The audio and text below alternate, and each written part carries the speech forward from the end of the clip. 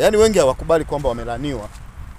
Ukimwambia mtu kwamba wewe umelaniwa, yaani kwa maisha unayoishi wewe ndio ambayo yanayotueleza sisi kwamba wewe umelaniwa au umebarikiwa.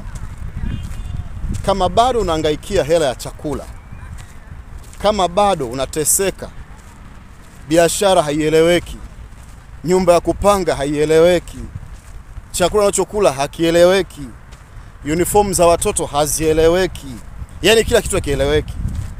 Wewe unabaki tu kukiri kwamba wewe ni mbarikiwa. Wewe sio mbarikiwa, nakwambia ukweli, you are not blessed, isipokuwa tu unalazimisha, yani, yani moyoni unajua kwamba wewe umelaniwa.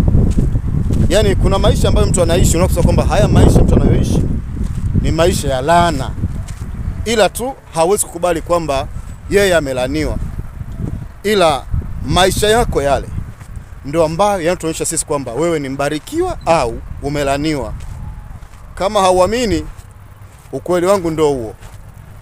Kwa hiyo usije ukaji, uka, ukajipa moyo sana kwamba mimi nimebarikiwa, kesho yangu ita, itakuwa ni nzuri zaidi ya hii. Hata kesho yako itakuwa ni mbovu hivyo hivyo.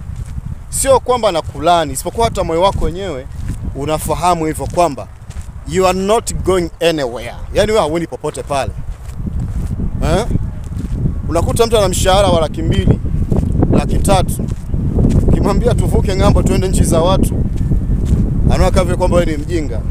Yani umerizika na laki mbili, umeridhika na laki tatu. Kuna maisha mengine tofauti na kiwango hicho cha mshahara ambacho unachokipokea wewe. Yani amini hivyo kwamba kuna maisha mengine ambayo ni zaidi ya hicho kipato ulicho nacho. Kuna maisha mengine kabisa yani. Eh, sisi tumeamua kuja nchi za watu huku, unaweza ukashangaa tunapita polini, tuko polini lakini tuna make money. Wewe umeng'ang'ania Tanzania tu, Tanzania tu, na mshahara wako wa laki moja na nusu na laki mbili na kujiona kwamba wewe umeshatoboa kimaisha. Sikiliza nikwambie, yaani kiwango cha mshahara wako unachokipata kwa mwezi ni kiwango cha mtu ambaye amelaniwa. Yaani wewe kama unapokea laki tatu kwa mwezi, wewe uko kwenye laana kwa sababu laki tatu kigawa kwa, kwa mwezi mara 30 utagundua kwamba you are doing nothing.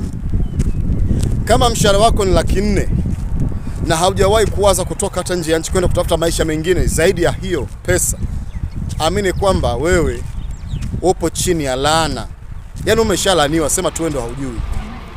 Mimi sina mengi zaidi, nitafute nikupe connection.